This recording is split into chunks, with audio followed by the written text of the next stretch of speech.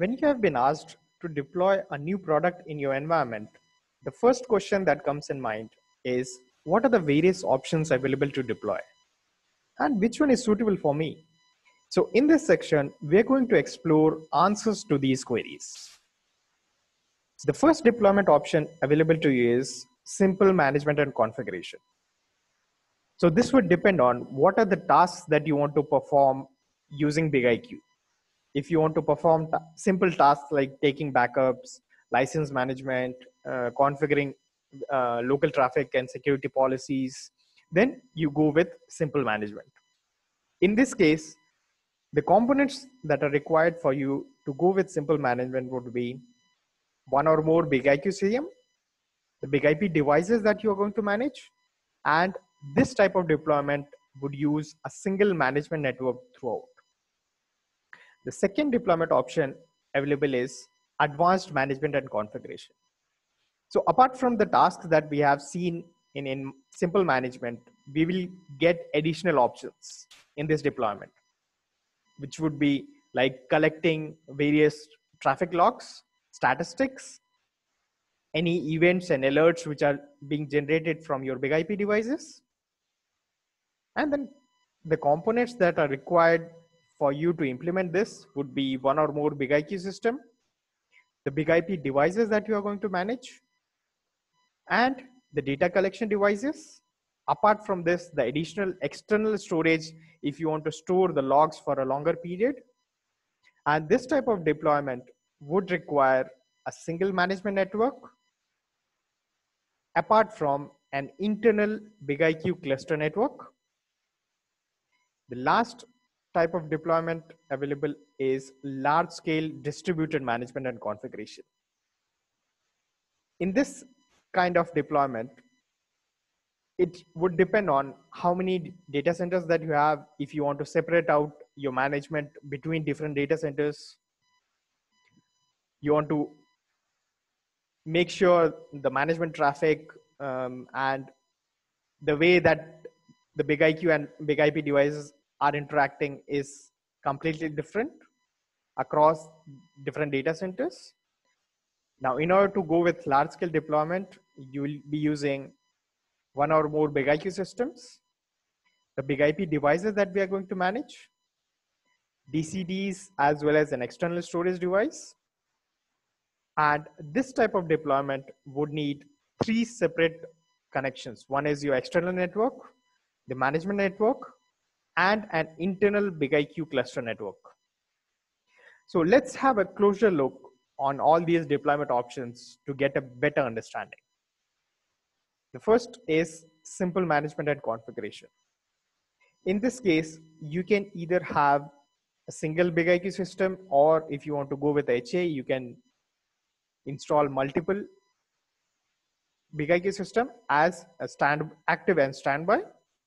Then installing BigIQ DCDs are optional and you connect your BigIQ CMs with the BigIP device and all these devices are in a single network. The BigIQ system uses traffic on the management network to first is enabling bidirectional traffic between your BigIQ system as well as the BigIPs it also enables the traffic between your big IQ systems, which is the active and the standby, so that they are in synchronized status. And this interface also gives you a way to access the device itself.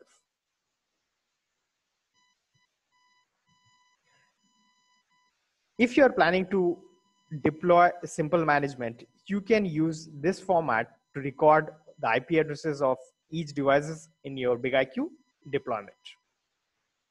Moving ahead to advanced management and configuration. In this, we can see apart from management network, we also have a DCD cluster and an internal network. So we are going to use two different networks. The BigIQ system uses the traffic on the management network to perform bidirectional communication between your BigIQ as well as the BigIP devices. then it also enables the traffic between your BIG-IQ active as well as standby so to make sure these are synchronized and the third part is to provide you access to the device itself the DCD cluster network is used to replicate the data to maintain the BIG-IQ centralized management cluster. And it is a best practice to isolate the traffic between your BIG-IQ cluster nodes for performance and improved security. If you're planning to go ahead with advanced deployment, you can use this format to record all your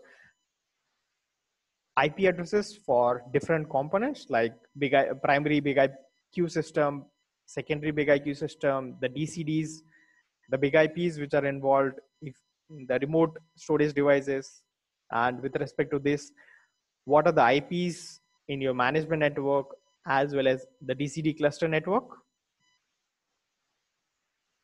Moving ahead with the large scale and distributed deployment, you have three different networks the management network, the DCD cluster network, and your internal network. The BIG-IQ system uses the traffic on the management network for bidirectional communication between your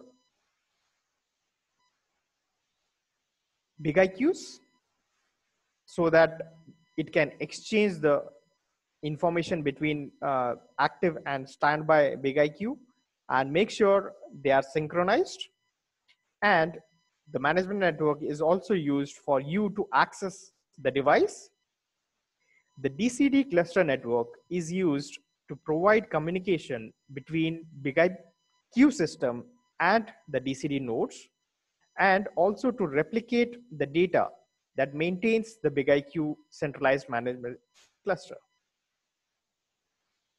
It is always a best practice to isolate the traffic between BIG-IQ cluster nodes for performance and improved security. The internal network is used to route the bidirectional traffic between your BIG-IQ CM cluster and the BIG-IP devices. So if we compare this specific setup with the previous setups, which was using management network as a dedicated communication. In this case, we have internal traffic network, which is used for bidirectional communication between your BIG-IQ centralized management cluster and the BIG-IP devices. With the addition of DCD cluster, you can manage the alerts and events which are occurring on your managed devices. If you are planning to go with large scale deployment, you can utilize this format to note down all the various IPs for various components which you are going to deploy in your environment. Now, thinking about the deployment type, if you are going to deploy BIG-IQ, where you also want statistics to be enabled, you want the alerts and events which are occurring in your environment. So for BIG-IQ, the CPU requirement would be 8 GB and 32 GB. The RAM would be 32 GB. And generally, the disk space should be 95 GB. If you have sufficient space, then you can set it up as 500 GB. For DCDs, the requirement would be for CPU as 8 GB and RAM as 32 GB. And initially for DCDs, it is required that you set up uh, 500 GB of disk space. Now, if you want a BIG-IQ deployment with only alerts and events enabled, then for in that case, the BIG-IQ, you can start with 4 vCPU and RAM as 16 GB. And as a general practice, initial 95 GB, or if sufficient space is there, you can set up as 500 GB or let's say if you have a requirement where you don't want uh, the statistics or alerts then you can go with the only BIG-IQ and no dcds with this it will be four or eight cpus and the RAM you can choose as per your requirement. With this, we have covered the overall deployment options available with BigIQ.